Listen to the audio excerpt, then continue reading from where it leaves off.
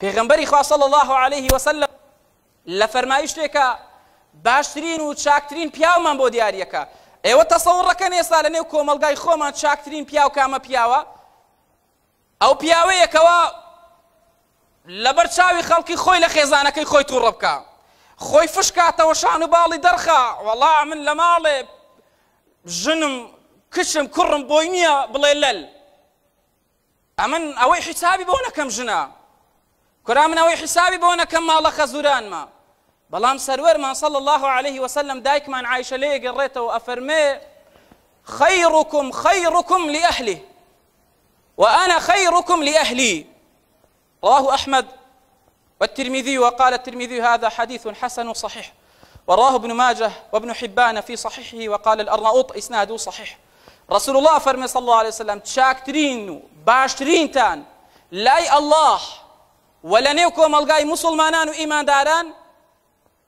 ئەوانەن کەوا بۆ خاو و خێزانەکەی خۆیان باشن.